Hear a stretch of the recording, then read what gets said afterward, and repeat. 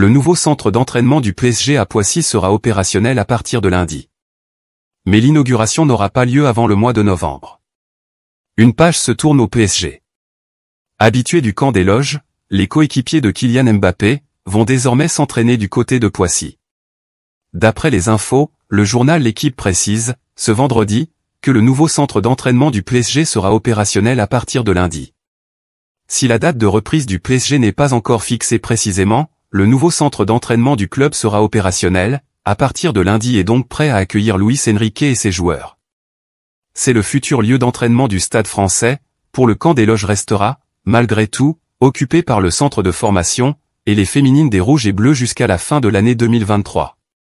À noter par ailleurs que l'inauguration du nouveau lieu d'entraînement du PSG n'aura pas lieu avant le mois de novembre. Puisque des travaux restants encore à effectuer, le club ne prévoit pas, à ce jour, son inauguration avant le mois de novembre. Les partenaires de Gianluigi Donnarumma seront les seuls du club comme on a déjà cité, le centre de formation est féminine jusqu'à l'an prochain dans un premier temps à prendre possession des lieux.